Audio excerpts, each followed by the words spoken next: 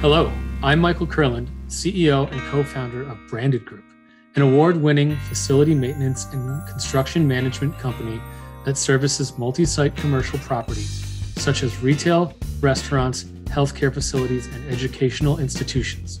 Welcome to the Be Better podcast. Each week, I interview thought leaders from a variety of industries who will share their stories and the lessons they learn as they strive to be better for their clients, partners, employees, and their community. Are you ready to be better?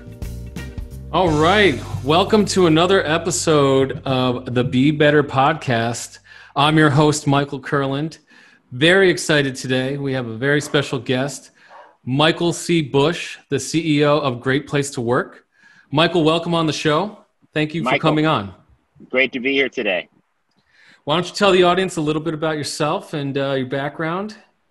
Yeah, uh, well, today actually I got a sunny, clear sky, sky day here in Oakland, California. And uh, this is where I live. This is where I w- was born. This is where I was raised. Um, so, been here in Oakland for, for a long time. And uh, I joined Great Place to Work uh, in September of 2015. Actually, I bought the company with a partner. I was hired to sell the company, ended up buying it myself. Um, so That's very that, interesting. Yeah, yeah, yeah. It's a long, crazy uh, story, but um, one that had a really, really good outcome.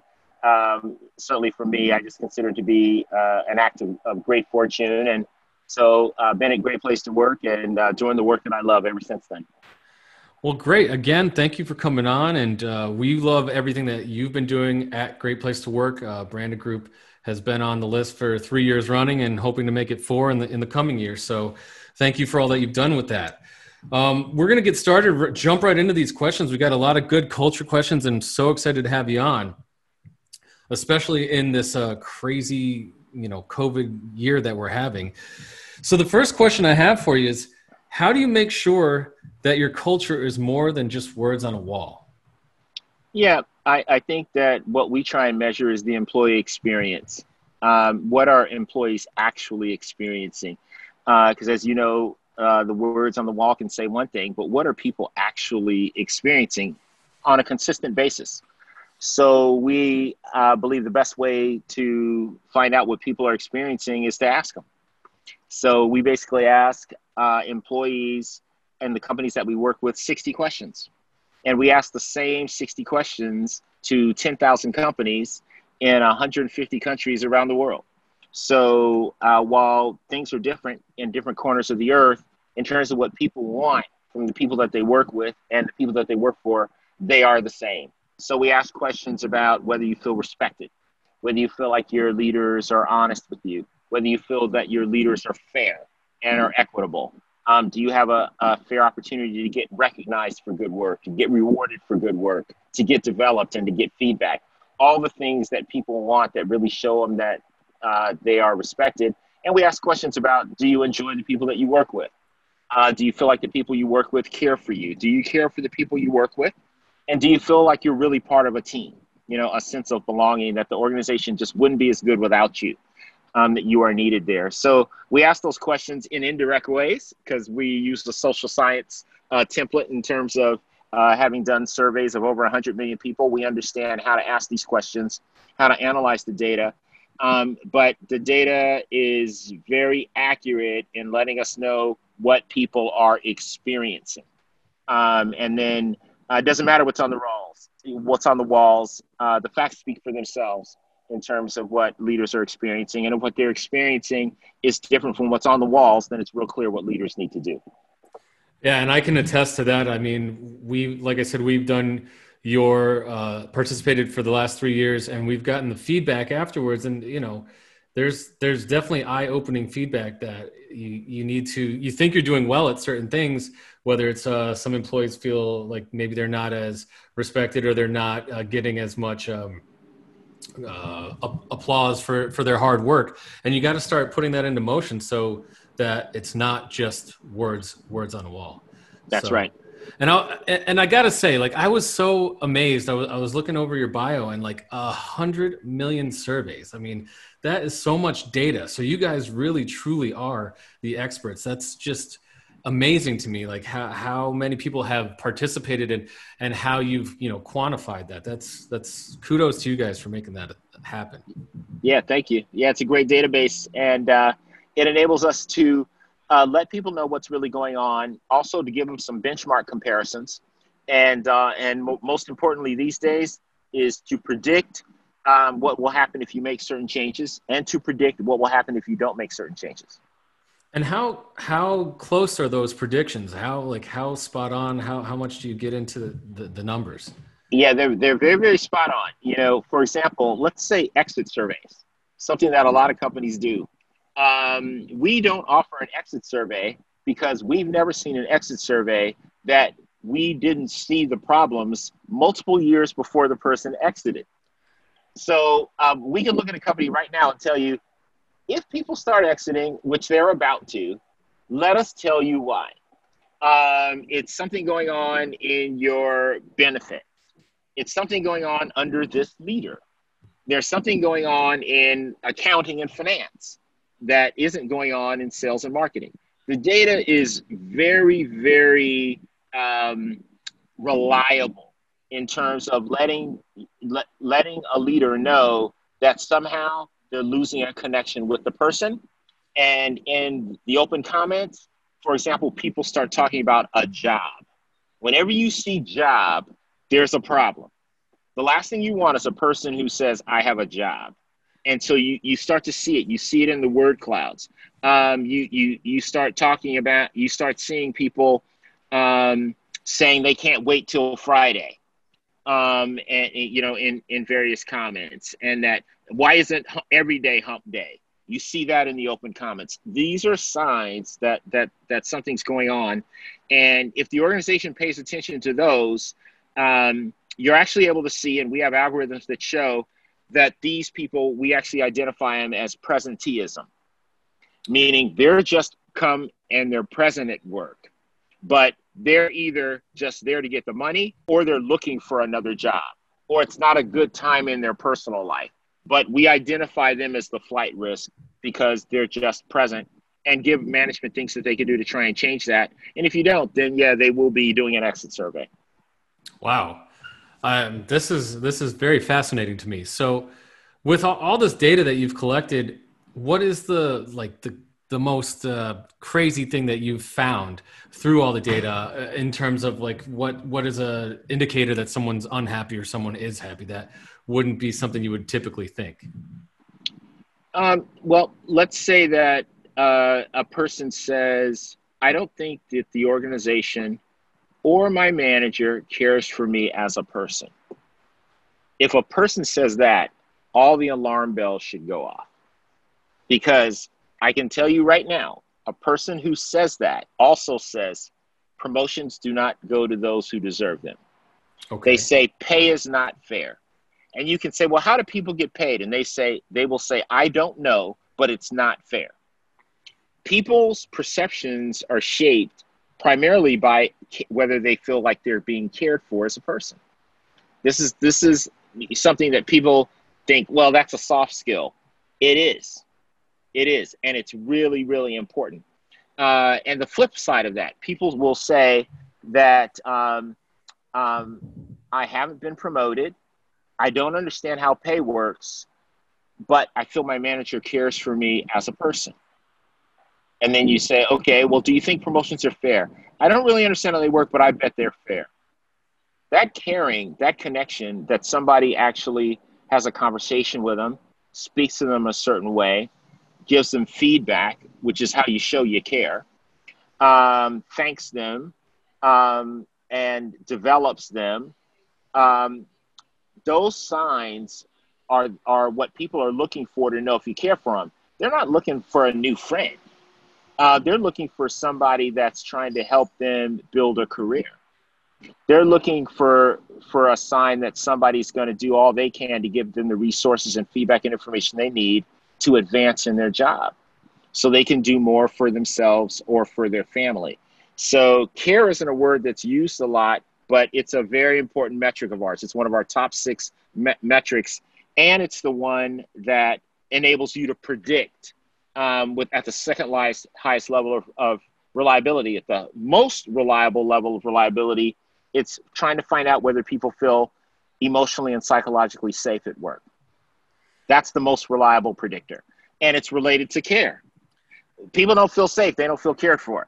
Um, so there is a high correlation between those two things, even though there is a subtle difference between the two. This is again, this is fascinating. I, you know, we talk all the time as business owners when you're not getting into the culture con- conversation about ROI, and I've always not, you know, been able to explain how what we've done with our culture is not really something you can you can ga- gauge by an ROI, but it's about the emotional intelligence and making the people want to stay. And then, you know, you go into these long-winded uh, explanations of, of why it, it, does help your ROI. Kind of, you said like the soft, the soft uh, skills, right? Yeah. So anyway, this is just fascinating to me. So I'm kind of fanboying over here a little bit. But, okay. All right. All right. but the, but the next question I do have for you, um, if you have a generational workforce, how do you get everyone to buy into the culture? How do you get them all to embrace it? Well, the best way, you know, the, the thing that makes a culture really come together is when people feel like they're working together towards something that matters. That matters. And uh, cash flow doesn't really do it except for bankers. Um, and uh, EBITDA doesn't really do it. You know, it, it's something else. That's that's an important thing but people want to be doing something else. They want to feel like they're they're actually making things better um, for uh, their customers um, and their community. So that's a sense of purpose. So really, uh, you know, talking about culture, it makes sense to people only if they have some context, which is why do we exist? Why are we here? You know, how, how do we actually impact the world? And um, instead of just the one the dollar or the shareholder or the owner. It's going beyond that to multiple stakeholders. So, uh, talking about purpose, then you can talk about the kind of culture that's needed to deliver on that purpose. And what you find is a purpose driven organization always the reason the culture that's needed is one where people are of service to each other. That's it. It's it's it's where people want to help the people that they work with and they want to work with the people that they work with to help the customer um, and and to help the community so uh, this this you find this this culture of service and selflessness of humility and curiosity the thing that's needed and, and accountability as being the things that's needed to actually achieve that higher purpose you don't have to have those things if it's just money you actually don't. If you want it to be just money, um, I got the data on that too. Um, you can actually have people that are motivated on, on money, um, but they don't score very well and they aren't on our list. Right. Um, we do we do business with them, but they're not on our list. Uh, they just wonder why they're not on our list. They're not on our list because they don't have a high trust culture.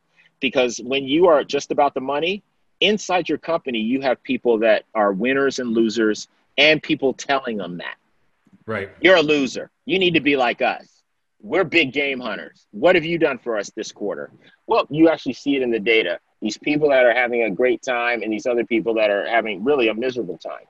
Um, and uh, but you find those in places that are really just driven towards um, you know financial rewards. Yeah, at my last place, I was the uh, vice president of sales and marketing for seven years, and we had a vice president of business development and we were pitted against each other in a competition on us for pretty much seven years. And thankfully we both had thick skin and were able to you know initially we were not friends. And then after the first year we became we, we realized like what there's no reason for us to argue with each other. But when i when i came out here and, and i started branded group that was the one big thing. I do not pit my sales team against each other. I, I, still run the sales team to this day, and I do not pit them against each other because the competition just it just breeds anger, and it's not it's not teamwork like you're saying. It's not culture. So when I did get out here and started the branded group, I I really wanted to put a focus on culture, and that's where the the purpose came in, the one for one program, the giving back, and that's to your point, I mean, I think that's part of why we've been on your list for the last three years, and hopefully, you know, we'll be continuing going forward. But all of the, all of the uh, people in in our company, they feel like they have. A, I don't know if all of them do, but a good portion of them feel like they do have yeah. a purpose. They're they're giving back. We're serving our community. We're serving our customers, and you know, they're they're there to help each other. So I digress, but you know, you just touched on a lot of points, and I feel like it makes sense we've been on your list for the last uh, couple it, it does yeah it's not a digression at all that's the reason why so next question is how how do you continuously improve company culture you guys are the company culture gurus how, like what yeah you know we, we we set this this culture in motion five years ago and we're constantly always trying to like uh, tweak it to make it current and especially now with covid it's it's been even more difficult. So how what what recommendations do you have to continuously improve on company culture? Yep. Well, it's being connected to your people and and having leaders who um, uh, are working on ways of doing that better. So it's all the number one thing that an organization needs to do is improve the behave the way that their leaders behave. So you you you need to have uh, uh, data to know about the experience that your leaders are creating and every leader, including myself, I, I have things to work on. And so every leader ought to feel that way and ought to know what they're working on. What behaviors are, are they really working on? And so, because you don't have to be an, introvert or an extrovert um, or charismatic, you don't have to be any of those things to know how to listen, to know how to speak, to know how to thank people, to know how to give people feedback, to know how to welcome someone, um, and uh, how to make sure that you're doing all those things in a fair way, regardless of, of the gender of a person or their length of time in the company or what they do in the company or their rank in the company. You're just doing those things all the time. So that's the work of the leader, and that that work, um, when a leader's doing that well, creates a great experience for the employees.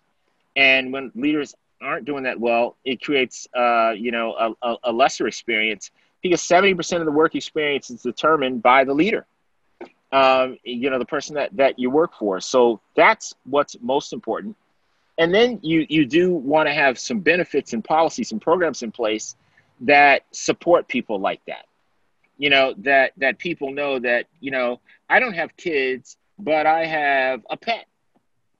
And um, my colleagues have insurance for their kids but i don't have one for my pet. You know, is it wouldn't be fair if I had pet insurance? Well, you know, uh, a lot of companies like Great Place to Work, we have pet insurance that we offer through Nationwide.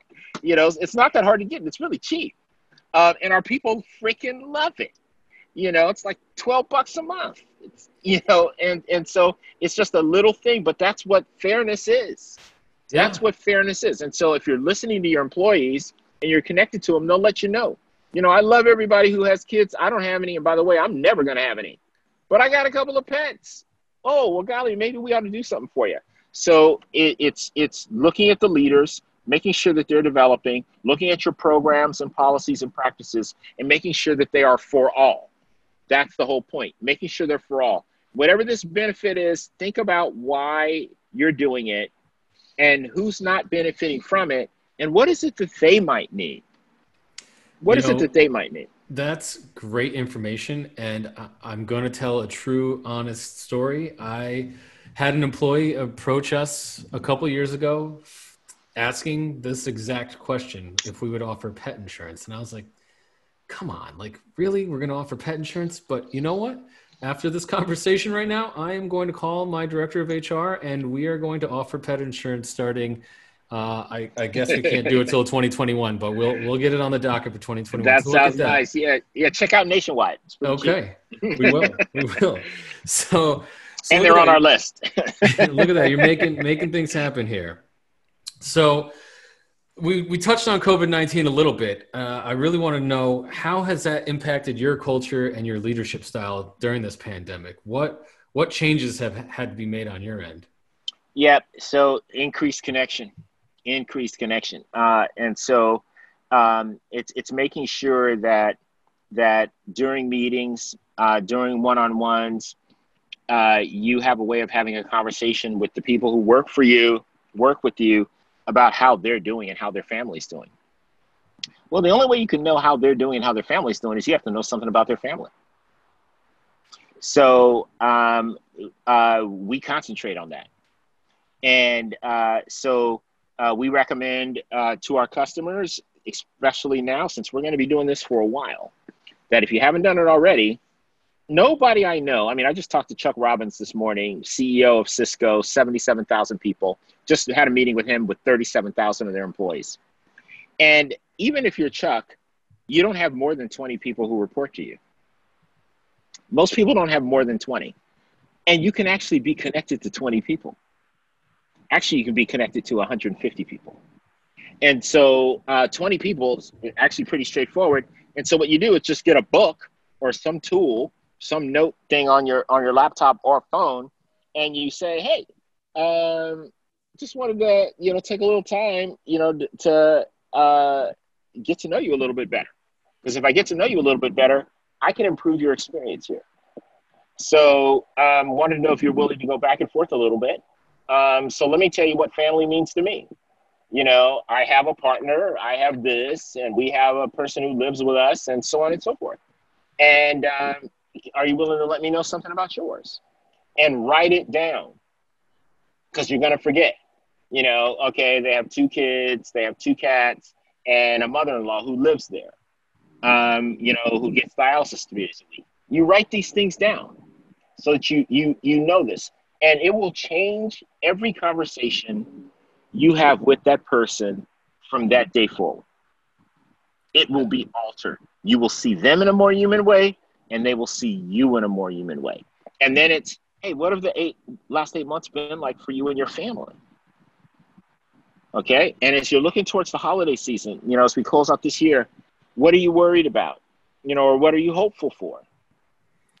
And then hey is there anything we can do you know i'm not saying we can do it but i'd just like to know is there anything that, that we that we can do? That's the connection that's needed now. That's the connection that's needed now. And i think i think it kind of goes full circle back to what you started with is just being a great listener and showing them that you care. Uh, you know we in my sales career i've learned the best salespeople are the ones that can listen. And as the CEO of this company, showing that you care, it just pays, like you said, it pays dividends. So I love this idea.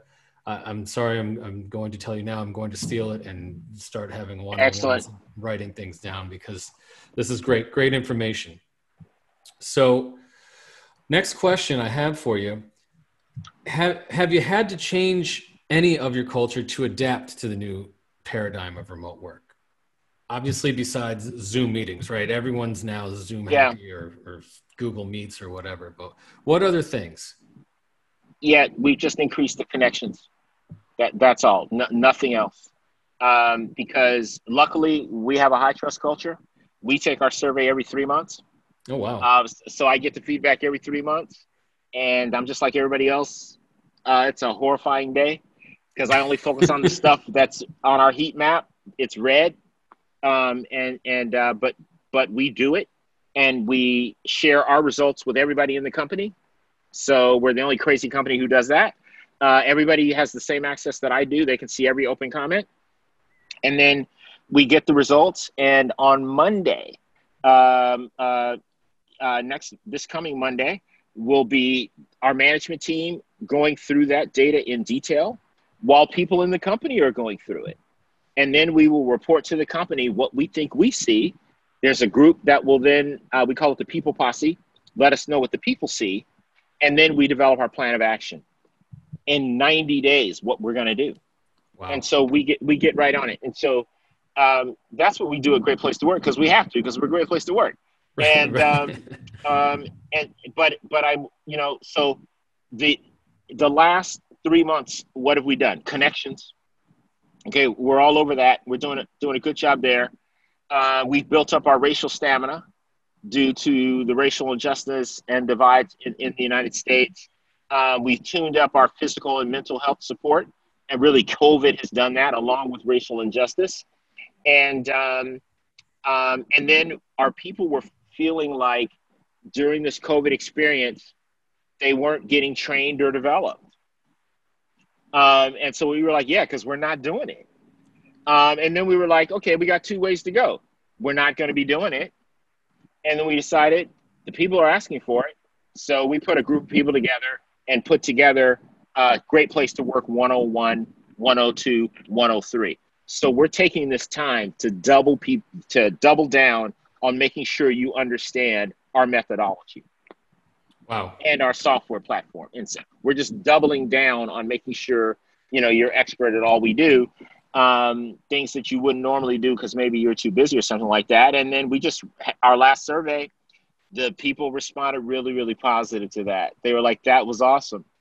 Um, and really appreciated it. And uh, you know, we're, we're about to have something else to work on. So we definitely eat our food um, and, uh, you know, pay attention to the survey results, which is really what listening is all about.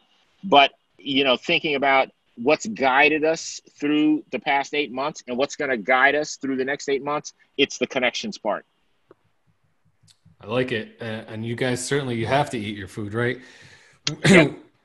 we actually, I, I, can relate to one thing you, you were saying in there is, uh, we do a, an annual survey internally as well and we take all that information and same thing package it and we just got our survey results back last tuesday and just like you said all monday i was just like oh my god uh, what are we going to hear? What, what is, what's the bad stuff? And it was all good but you know not all good but it was mostly good but we fo- i focused and fixated on like the three things that were yeah yeah yeah. and i'm like oh how can we fix these? So we're we're yeah. same thing we're working on that plan of action to fix but um this is this has been great michael. I i really appreciated our time. I got one last question for you that we ask uh, everyone that comes on the show okay that I, i'd like to ask you what are you an expert what do you consider yourself to be an expert at and how would you give our audience advice on how to become an expert at said thing? Yeah, I think I'm an expert at listening. Um, and uh, because that's what people say. Um, so uh, they said it so much. Uh, Ted actually asked me to do a TED on listening, uh, oh. which I did about three years ago, and I think it's you know maybe got six or seven million views at this point and uh, it's only it's a four minutes. You know, you can you can find it somehow. I don't know how, but um, probably Google TED and TEDx and Michael C. Bush and listening, and um, uh, you know, I think it's it's uh, called uh, how to have happy employees at work. It's something about happiness, but I did this little thing on listening. It became all about that little thing I did in it um, about uh, uh, listening for all the obvious reasons. But it's that it's something that um, I work at I work at it. Um, I work at not interrupting. Uh, I work at silence, being comfortable with silence in conversations, um, and emptying my mind when people are talking and not being prepared for what I'm going to say when they stop. Um, so I work at it and continue to work at it. Uh, so, you know, I, I, think that you know that's that's my thing, and um, uh, and so I would, you know, if, if you're interested, I check out the TED talk on how to be a happy employee or something like that. And uh, you'll see this little piece in the middle on listening if, if it's something that you'd like to work on. Uh, I, I've got some tips in there for you. And what I have found is that the great thing about being a great listener is that, um, yeah, it takes work, but boy, do you get rewarded because you're on point with your people. Absolutely. Uh, you're just on point with your people. And people get um, most people's experience is that other people don't listen. They wait so for their when, turn to talk. That's it. that's it. And so when you're a great listener, you know what people say? You're a great listener. And that's just because it's so unusual for them. And when people are experiencing something unusual, unusual, they say a lot more than they plan. They become more vulnerable. Um, and so then the magic happens in terms of innovation. The magic happens in terms of innovation. So because when when that happens, um, both people are feeling really safe, and uh, on top of that safety, great things happen. That is great advice. I'm going to run out and listen to this TED talk as soon as we uh, get off this podcast here. Uh, Michael, it's been my pleasure to have you on. So happy that you took the time to come on the show. If the audience wants to get a hold of you, how can they find you? Yeah, LinkedIn's the best place because um, I'm, you know, certainly checking that out every day.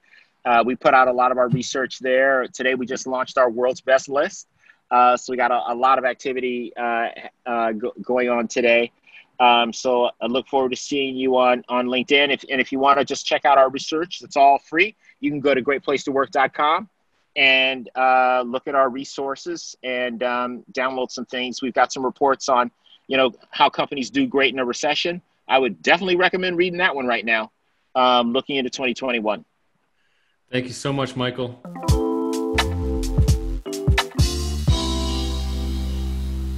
Thank you for tuning in. I hope that today's episode inspired you to become a purpose driven leader in your career or your community. There is no doubt that when we lead with purpose, we can change lives. If you enjoyed today's show, I'd be grateful if you would take a moment to rate us on your preferred listening platform. To learn more about Branded Group's Be Better experience and how we provide industry leading on demand facility maintenance, construction management, and special project implementation, visit us at www.branded-group.com. Be sure to follow us on social media, and you can also reach out to me directly on LinkedIn. Until next time, be better.